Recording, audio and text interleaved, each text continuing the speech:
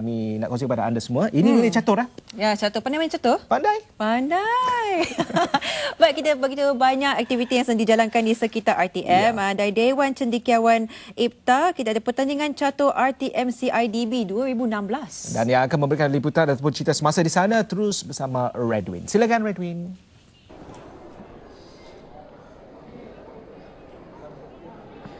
Baik, terima kasih uh, rakan uh, compare ataupun rakan pengacara di studio.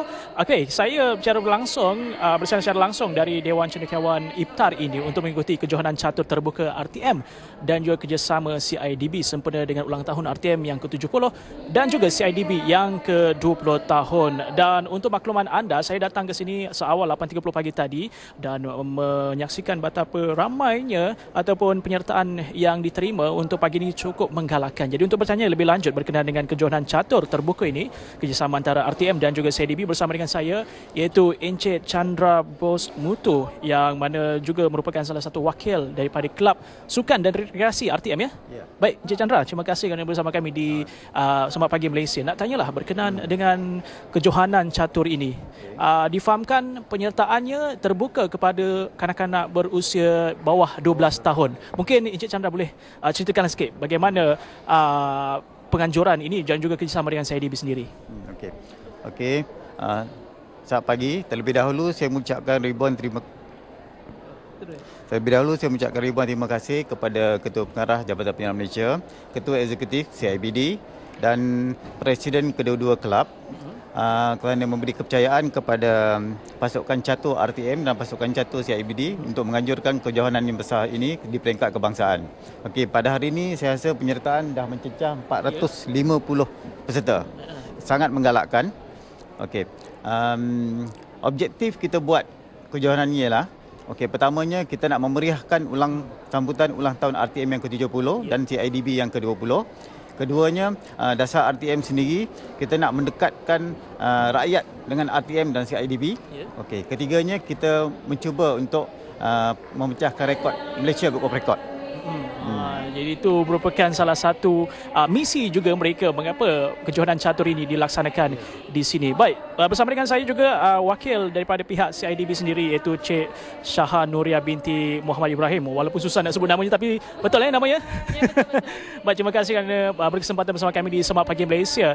Uh, kerjasama dengan RTM uh, dalam kejohanan catur ini merupakan yang pertama kali, betul? Yes, pertama kali, buat pertama kalinya. Dan bersempena dengan ulang tahun CIDB yang ke-20 juga? Ya, yeah, ya. Yeah ulang sempena ulang tahun CIDB yang ke-20 pada yang sebelum ni lah pada 1 21 November dan ah. itu yang ke-20 lah dan lepas ni ke-21 lah itu pada 21 hari bulan November ni jugalah untuk tahun ni. Ha, Jadi bagaimana agaknya kerjasama yang dilakukan kerana ini merupakan uh, pertama kali dan kerjasama itu bagaimana dengan pihak RTM sendiri?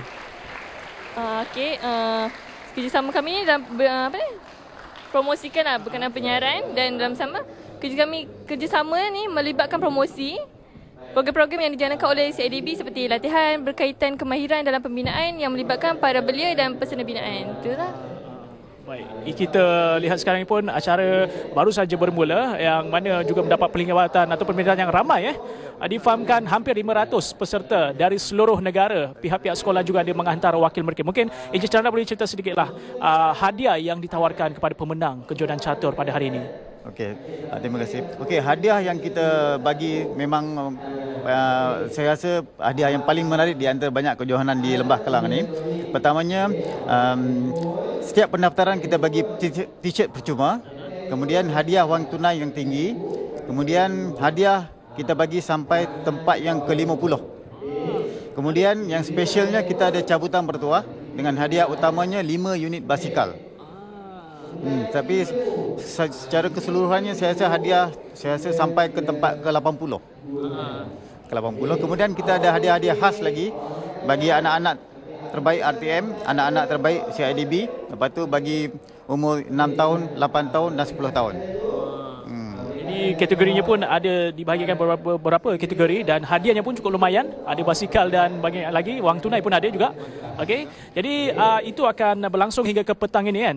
Uh, uh, itu kejohanan catur terbuka kerjasama RTM dan juga CIDB. Baik, terima kasih Encik Chandra. Terima kasih juga wakil daripada CIDB dengan kerjasama. Uh, kita harapkan juga kerjasama seperti ini terus diperhebatkan lagi pada masa akan datang. Mungkin bukan catur saja, sukan-sukan lain kan.